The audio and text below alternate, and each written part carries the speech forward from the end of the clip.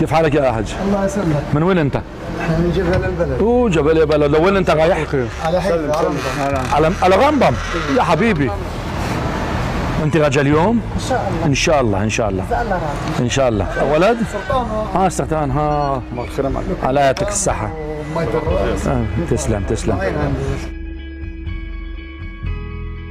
אנחנו פה אה, נמצאים לפני אה, מעבר ארז. אה, זה הטרמינל שבעצם אה, מחבר את אה, עזה לישראל ולגדה המערבית.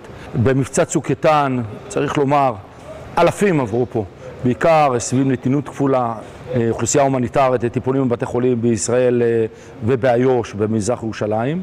עבור הפלסטינאים בהחלט מעבר מציל חיים. יוסרה. יוסרה. האמא יוסרה, אין ויסאם, הבת. תל השומר. בסדר? יאללה, תעשה לי טובה כמה שיותר מהר, צריכות להגיע, לחזור, יאללה. את בנתק? شو شو معنى عيانة؟ شو؟ قلبه بشكل اه قلبها قلبها اليف اليف اوكي يعطيك الصحة وانت ساكنة في غزة غزة وفي ال- وين؟ صفاوي صفوان وانت رايح لاسرائيل انت خايفين في اسرائيل؟ نعم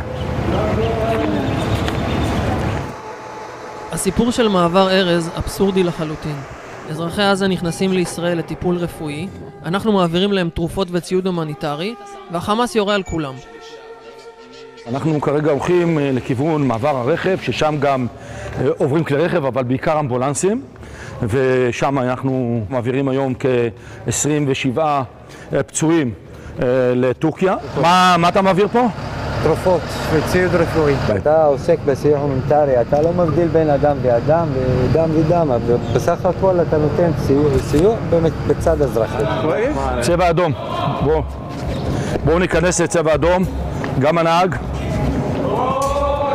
בואו, תיכנסו בבקשה למרחב מוגן. אין מה לעשות, זה חלק מהחיים פה. שלמה צבן, קצין הצנחנים לשעבר, מנהל כבר תשע שנים את מעבר ארז, וזאת משימה לא פשוטה בכלל. זה הדיסוננס המובנה, ככה החמאס פועל. החמאס איננו דואג לעם הפלסטיני, החמאס דואג לעצמו. אולי החמאס לא יודע על התרופות, אבל הפצועים שעוברים עכשיו ב- ב- בפרק הזמן הזה, מהבוקר עד אחת, הם יודעים את זה, אז איך הם... זה בלתי נתפס. אנחנו יודעים על 27. אש המרגמות הכבדה נמשכת גם בשעה שהצוות הרפואי מטורקיה מגיע לקלוט פצועים מעזה. גולה גולה. גולה גולה, אהה. אבל את החמאס זה ממש לא מעניין. מה יש? נפילה בתוך, כנראה בתוך המעבר. בניגוד לנאומים האנטישמיים של הנשיא ארדואן, בשטח, הטורקים והישראלים עובדים ביחד. אחוות המקצוע. מי אנחנו כן? אנחנו מכירים לא מעכשיו. הם קודם כל הסהר האדום, אנחנו מגן דוד אדום, עובדים בשיתוף פעולה מלא, לא מהיום, כל הזמן. הייתי גם קורס אצלהם, עשיתי אצלהם קורס בניהול אסונות בטורקיה, באיסטנבול. אחד הפצועים, נער, בן 16, הוא סיים כרגע את הטיפול הביטחוני.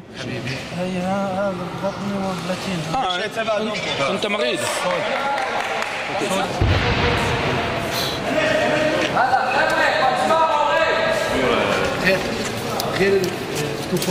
טוב, אנחנו, כמו שציינתי, נמצאים פה ביום שהחמאס כועס מאוד.